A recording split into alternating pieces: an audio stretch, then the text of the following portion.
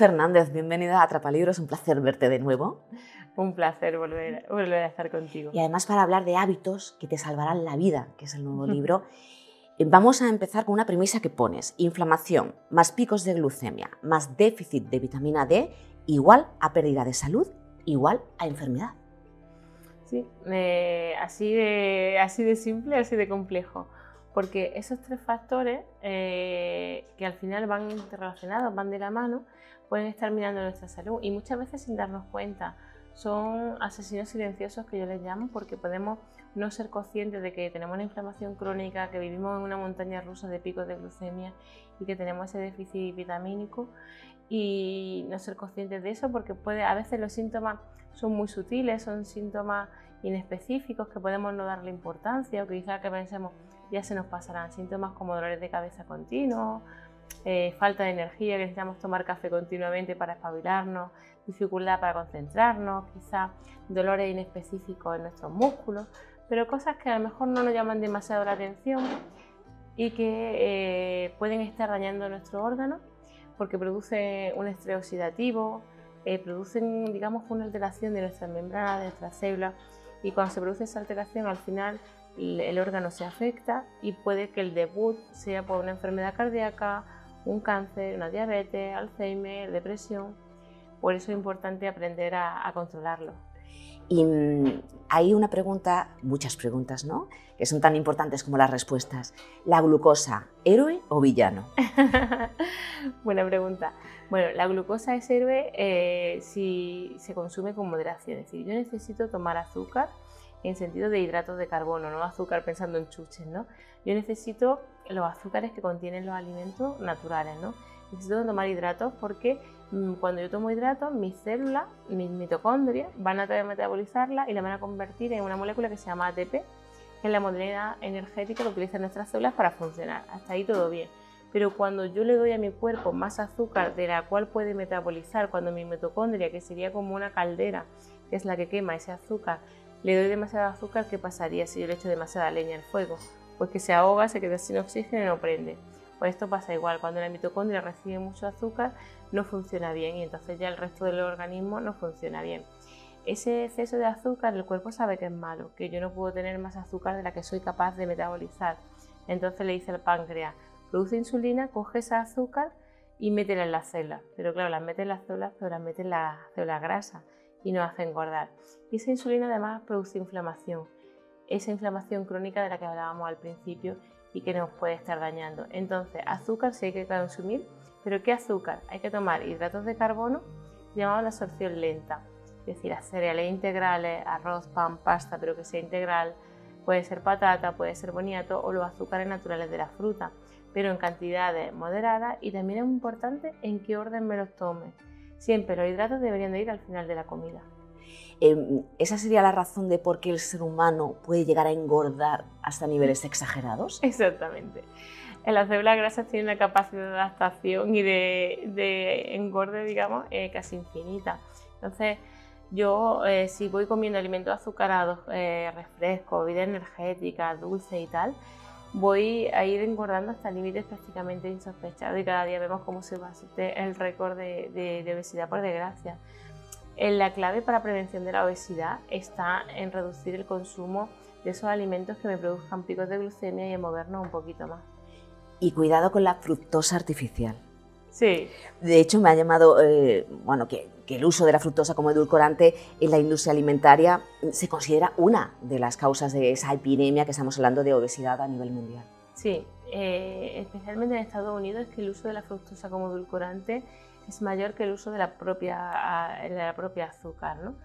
Esa fructosa eh, tiene un metabolismo diferente a los azúcares naturales de, de los alimentos y produce una inflamación más dañina, más grave que incluso el azúcar. Eh, el problema es que se está edulcorando con fructosa casi todos los alimentos. Eh, en Europa quizá algo menos que en Estados Unidos, pero cada vez estamos incorporando esa costumbre de edulcorar con fructosa. Y como te decía, la fructosa es muy dañina, nos está matando por dentro y los refrescos son lo que más fructosa contienen. Y es que el problema es que el 20% de los niños toman a diario un refresco en vez de tomar agua, eh, tomamos, estamos tomando refrescos y adolescentes viendo bebidas energéticas así como parte de, su, día, de su día a día. ¿Y qué decir de los carbohidratos desnudos? bueno, los azúcares, eh, como te decía, ¿no? le comentábamos, hay que tomarlo, los azúcares naturales. Siempre que hablamos de azúcares naturales, el de la fruta o los azúcares que puede tener, eh, o, los almidones ¿no? que pueden tener la patata, el boniato, los cereales, pero siempre es mejor no tomarlos desnudos, porque hay que arroparlo, hay que acompañarlo. Gracias, gracias a esa palabra de arroparlo. Sí, hay que, hay que acompañarlo. Igual que a la avena, ¿no? Que decías, arroparla un poco. Hay que arroparla con grasa y con proteína. Por ejemplo, la fruta, el plátano lo podemos arropar con frutos secos, con un yogur natural, si puede ser griego que tiene más grasa mejor, con el aguacate, con la semilla. ¿Y por qué hay que arroparlo? Porque los alimentos es importante en el orden que los tomes para que no se produzcan picos de azúcar. El problema que puede tener la fruta, problema entre comillas, es que si se toma sola, eh, puede eh, producir una subida de azúcar. La fruta es muy buena porque tiene minerales, tiene vitaminas, tiene enzimas, eh, fitoquímicos, antioxidantes, es buena, pero el problema es que tiene azúcares naturales, pero son azúcares y pueden producir ese pico. Pero si yo la fruta o otro tipo de azúcar lo acompaño de grasa y proteína, se va a producir menos pico. Por eso siempre arroparlo. Una buena idea para la merienda Puede ser un puñadito de frutos secos crudo con un plátano o cualquier fruta que, me apetezca. De hecho, dices que los productos sin azúcar elevan esa glucemia, aunque parezca contradictorio.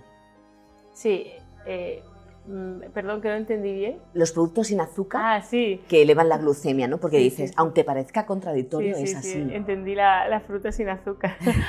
sí, los productos sin azúcar, los 0% que ahora están tan de moda, como alternativa a los productos azucarados, eh, en un primer momento, para un uso puntual no hay problema, porque no me va a producir ese pico. Pero si yo los consumo como alternativa a los productos azucarados, ¿no? yo me acostumbro a tomar refrescos sin azúcar a diario, yogures sin azúcar a diario, al final estamos engañando al cerebro y nuestro cerebro lo va a interpretar igual que si estuviésemos tomando azúcares. Entonces, un momento puntual, un día, no pasa nada, pero si lo hago como alternativa, al final tiene el mismo efecto deleterio en nuestra salud. Y Odil, también hablas de la carga glucémica, ¿no? que al final eh, estamos dándole vueltas a, temas comunes, ¿no? y el índice glucémico, que son claves para la buena salud. En el libro tenemos una tabla de alimentos que nos sirve como guía y, hablas de, que, mm, de cómo seguir una alimentación con una carga glucémica baja y pones un ejemplo de desayuno salado, que no es habitual en nosotros. Sí, la carga glucémica de un alimento es importante que la conozcamos porque es la capacidad que tiene un alimento para producir esos picos que estamos hablando. Los alimentos de baja carga glucémica no producen pico, aplanan la curva y sin embargo los alimentos de alta carga glucémica producen pico. Entonces los alimentos azucarados, refrescos, chuche, eso más o menos lo tenemos claro, pero luego hay alimentos que pueden producir pico, como puede ser la miel, la barrita energética y algunas salsas que quizá pensamos que, no tienen ese efecto. Entonces el intentar eh, evitar esos alimentos nos va a venir muy bien y sustituimos por alimentos de baja carga glucémica. Los vegetales, las semillas, los frutos secos, el huevo, el pescado son de, baja carga glucémica y eso va a ser un plus para, nuestra salud, para nuestro día a día. ¿Y las tostadas por la mañana no? bueno, lo que comentaba antes, eh, si yo cambio mi desayuno de la mañana de alta carga glucémica, como puede ser una tostada, pero de, de mantequilla y mermelada, la napolitana, la palmera, yo lo cambio por un desayuno salado, puedo estar marcando un plus para mi salud. ¿Por qué? Porque ese desayuno salado eh, tomado en, la mañana, que es el momento en el que yo soy más sensible a la insulina, puede marcar la glucemia a lo largo del día. Entonces, lo ideal sería empezar con algo salado, unos huevos revueltos, huevo cocido, un huevo escalfado, está bien. O un yogur eh, natural, claro, sin azúcar, con semilla y frutos secos. ¿Y la tostada qué hacemos con ella? Podemos tomar tostada. No, aquí, eh, en hábitos que te salvan la vida, no vamos a prohibir prácticamente nada, salvo lo ultraprocesado, que debemos de evitarlo pero en vez de tomarme una tostada enorme con mantequilla y mermelada, voy a reducir a lo mejor la cantidad de pan.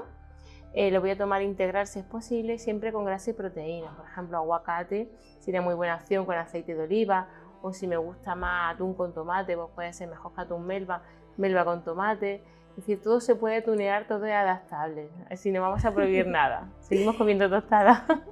Y hablando de comer y el orden en el que comimos, comer por la noche, o sea, cenar temprano es muy beneficioso para nuestra salud. Sí, de hecho nuestro riesgo de cáncer puede disminuir si nos acostumbramos a cenar antes de las 9 de la noche. Y algo que puede parecer algo novedoso, en verdad era algo que hacían nuestros abuelos, porque cuando no había electricidad, cuando se iba el sol, dejaban de comer. y es que comer durante las horas de luz solar hace que haya menos picos de, de glucemia, menos inflamación, porque nosotros somos más sensibles a la insulina, metabolizamos mejor los hidratos durante el día. Entonces intentar cerrar la cocina a partir de las 9 de la noche puede ser beneficioso. Alimentos que hay que evitar, ¿no? Eh, das algunos, azúcares añadidos, harinas refinadas, aceites vegetales refinados. Al final, eh, pues si lo tenemos en cuenta porque hay que leer las etiquetas también. Claro, al final es que aprender a leer etiquetas es fundamental porque bueno, la industria no nos va a poner nunca fácil, va a intentar vendernos cualquier cosa y como los alimentos ultraprocesados es mucho más barato que los alimentos naturales, pues evidentemente va a intentar que creamos que algo es saludable, aunque no lo sea, a costa de contar con nuestra desinformación. Entonces aprender a leer etiquetas para detectar si estamos utilizando un tipo de azúcar, un tipo de harina, un tipo de aceite u otro, es vital para nosotros. Al principio puede ser un poco lioso, ¿no? porque no estamos acostumbrados. Eh, también tenemos una edad a partir de los 40 que nos cuesta leer las la etiquetas. Entonces yo siempre recomiendo que al principio podemos utilizar una aplicación, hay muchas ya disponibles eh, que podemos descargar con el móvil para tener esa guía. Pero luego es verdad que llega un momento que tú aprendes qué pasillo, dónde está la fruta, dónde está la verdura, dónde están los alimentos poco procesados. Como norma general, si tiene mucho, mucha sed, si, la lista de ingredientes es muy larga, probablemente es que no es, saludable. Pero lo más importante a evitar es el azúcar añadido y, el aceite de palma.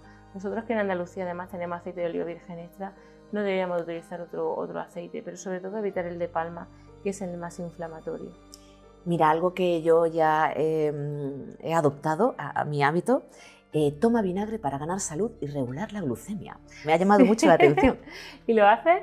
Sí, empecé hace, cuando cogí el libro. En cuanto lo leí, digo, voy a, aplicarme. Mira, eso que ahora la ciencia nos está diciendo que el ácido acético que tiene el vinagre disminuye tanto la inflamación como los picos de glucemia, porque lo que se hace el vinagre cuando lo tomamos sobre todo al principio de la comida, ya sea en aliño o mezclado con un vaso de agua, pues lo que hace es que disminuye la absorción de los hidratos y además favorece que el hidrato se guarde en el músculo en vez de en la grasa.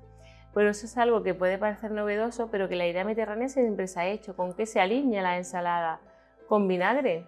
¿Y qué se le pone a las lentejas tradicionalmente? Vinagre. Es decir, que todo lo que yo cuento en el libro es recuperar lo que hacían nuestros abuelos. Entonces puede ser una buena costumbre alinear con vinagre y si no vamos a alinear, eh, un vasito de agua con una cuchara de vinagre antes de comer reduce la glucemia y nos puede ayudar a perder peso y a mejorar salud. Y Odil, también hablas del ayuno intermitente y sus beneficios. Sí, otra cosa que hacen nuestros abuelos, que estamos recuperando ahora como si fuera una moda y en verdad lo hacen nuestros abuelos, porque se iban a dormir cuando se iba el sol y ya no comían hasta el día siguiente. Entonces, un ayuno de 12 horas se ha visto que nos puede ayudar a mejorar el sistema inmunitario, mejorar la absorción de alimentos, reducir inflamación y regular glucemia. No es tan difícil, si yo ceno a las 8, pues ya a las 8 de la mañana podría desayunar. El ayuno debe ser de entre 12 y 16 horas, ya depende de, la vida social de cada uno, del trabajo y tal, pero 12 y 16 horas podría ser muy beneficioso. Y mm, eh, hablemos de la inflamación, ¿no? porque también eso nos afecta. Eh, ¿Cuáles son los alimentos aspirina?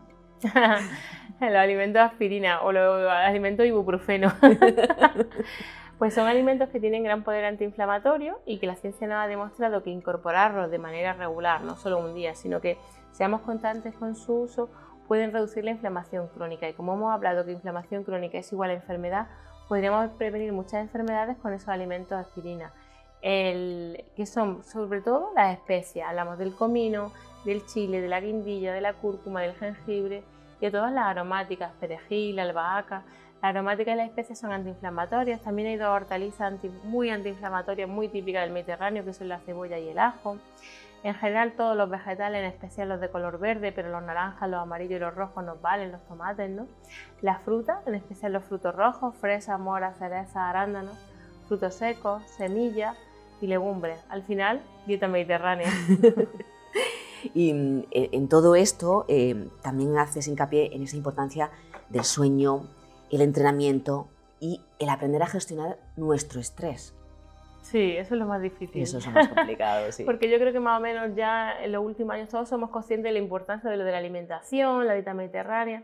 Aunque lo llevemos más o menos a la práctica, yo creo que todos lo tenemos asimilado. Que hay que entrenar, que hay que hacer ejercicio, bien aunque lo ideal sería el entrenamiento de fuerza, no solo salir a caminar, que hay gente que piensa que con caminar es suficiente, está bien, sobre todo si caminamos después de comer, disminuir la glucemia, pero también hay que entrenar fuerza, hay que mover peso. Pero lo que más nos cuesta es gestionar el estrés, porque llevamos una vorágine de vida, llevamos una vida loca, vamos corriendo de un sitio para otro. Y el estrés en sí no es malo, o sea, un estrés positivo que me motive a hacer cosas, que me tenga entretenido, no está bien. El problema es cuando el estrés nos sobrepasa, cuando nuestro cuerpo lo interpreta como que estamos en alerta, que nos persigue un león continuamente. Ese león son los problemas, las exigencias de, de la vida. Ese estrés crónico es el que es malo cuando no lo manejamos bien. Cuando yo estoy muy estresado, mis suprarrenales producen cortisol, adrenalina. El cortisol y la adrenalina producen esos chutes de, azúcar, de glucosa y producen inflamación y a la larga podrían desencadenar enfermedades. Entonces aprender a parar todos los días, aunque sea 10 minutitos, y decir dónde estoy, qué es lo que quiero, a dónde voy, cuáles son mis prioridades y aprender a meditar. La meditación nos ayuda a tener una mente más calmada, más serena, más pacífica y no nos va a quitar los problemas, evidentemente, ni las dificultades que tenemos, pero sí nos va a ayudar a enfocarlos de, otra manera, quizá dando, lista, eh, dando prioridades, estableciendo que no hacer, o sea, establecer que no hacer de un granito un castillo, que a veces es lo que nos pasa, ¿no? que de cualquier cosa hacemos una bola. Entonces aprender a gestionar esto, ya sea a través del mindfulness, la meditación, la relajación muscular, buscar cada uno qué es aquello que le ayuda a, liberar esa, ese estrés. Y Odil, vamos a ir terminando, pero habíamos hablado de la inflamación. Eh, ¿Cuáles son los síntomas para que nosotros distingamos que, padecemos inflamación crónica? Bueno, pues el problema es que la mayoría de las veces son síntomas o inespecíficos, síntomas que no solemos dar importancia. Entonces, y hay veces que no da ningún síntoma. En una analítica hay veces que sí podemos encontrar pistas, sería recomendable medir en una analítica cómo está nuestra glucosa, cómo está la vitamina D, si la velocidad de sedimentación está alta o la PCR, nos pueden dar pistas de que hay una inflamación, una, una alteración en el metabolismo de la glucosa. Pero en cuanto a síntomas que nos pueden llamar la, la atención de que algo está funcionando mal, los antojos por los dulces, estos antojos descontrolados por algo dulce, el hambre continua o el irritambre que yo le llamo, es que estás irritado, que, necesitas comer y además como no lo consigas, estás de mal humor, ¿no? Como diríamos en Granada, de mala folla, ¿no? Los dolores de cabeza que, que no se den bien con ibuprofeno, el cansancio continuo, esa fatiga mental, necesitamos tomar café y no nos espabilamos, la dificultad para concentrarnos, el embotamiento, a veces son dolores musculares, otras veces puede ser eh, somnolencia después de las comidas, que necesitamos dormir varias horas. No es normal que yo tenga esa baja eh, energía, ¿no? Y como te decía, la mayoría de las veces son, son silentes. Escucharnos muchas veces. Escucharnos. El problema es que como no tenemos tiempo, no nos paramos. Si yo me parase a escucharme después de comer, por ejemplo, yo como y me observo, oye, ¿cómo estoy después de comer? ¿Sigo con niveles de energía, con ganas de seguir en mi trabajo? O por el contrario voy arrastrándome, o necesito atracar la, la máquina de vending de, para buscar algo dulce. Si necesito atracar la máquina de vending una hora después de, comer, es porque he hecho un pico de azúcar. Eh, quiero, antes de terminar, decir que los beneficios del libro, ¿no? Eh, eh, tú señalas que van dirigidos a la UAPO, a la Unidad de Apoyo a, a Pacientes Oncológicos. Sí, creo que Fundación UAPO es un proyecto maravilloso que surge en Granada hace un año y medio eh, gracias a Jesús Candel, que es un médico de familia, era compañero mío, que le diagnosticaron cáncer de pulmón metastásico y a raíz de su enfermedad vio la necesidad de ofrecer a los pacientes con cáncer un sitio donde se le eh, atendiese de manera integrativa, donde pudiesen ir a entrenar, recibir asesoramiento eh, nutricional, psicológico, hiciesen una piña, una tribu donde, donde apoyarte para superar estos momentos tan difíciles. Entonces, bueno, Jesús empezó el legado, por desgracia no, nos dejó, aunque vivió muchísimo más de lo que se esperaba según la, medicina oficial. Y ahora, bueno, pues su legado continúa. Yo soy parte de, Fundación Guapo y quiero que este libro, bueno, pues pueda revertir en todos los pacientes oncológicos para seguir ayudando a, aquel que tanto lo necesita. Así que, bueno, para poder seguir ayudando, una manera es a, través del libro. Pues muchísimas gracias, Odil, por estos hábitos que nos van a salvar la vida si los aplicamos a nuestro día a día. Gracias. A ti siempre.